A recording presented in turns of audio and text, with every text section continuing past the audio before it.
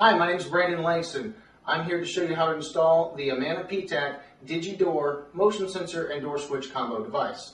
First thing you do is to remove the back plate from the device just simply by pulling it loose. Once that's done, you can set this aside for later installation.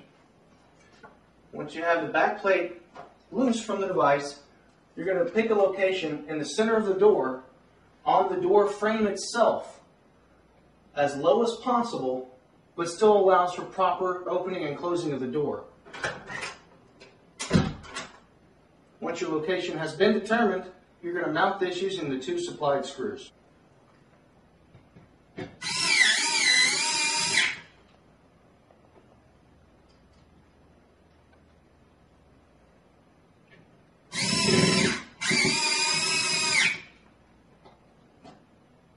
Once you have your back plate properly mounted to the top of the door frame, you're going to temporarily install the DigiDoor sensor onto that to check for proper clearance so that it doesn't interfere with the operation of the door.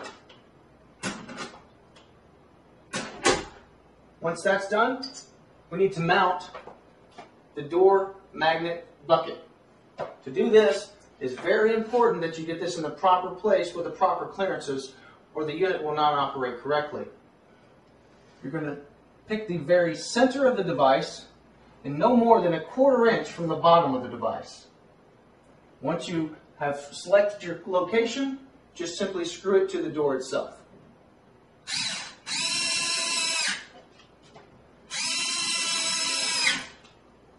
Now that you've got your magnet bucket properly installed, we want to make sure that we install the magnet in the proper place so that the unit operates correctly. Proper placement for this magnet will be directly under the smooth rect rectangle just on the bottom of the device itself. Proper placement of the magnet in the bucket is important.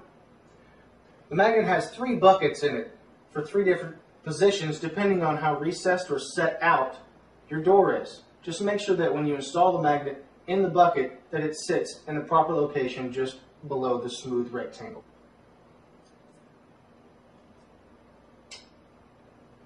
Next step in the process is to remove the vise from the wall and install the two supplied AAA batteries. When installing the batteries, make sure that you put the plus to the positive and the negative to the negative. Do not install this on the back plate of the door you will need to use this device in the binding process explained later. Thank you for viewing this video today. If you have any further questions about this process, please contact your Amana PTAC sales rep at 800 647 2982. Thank you.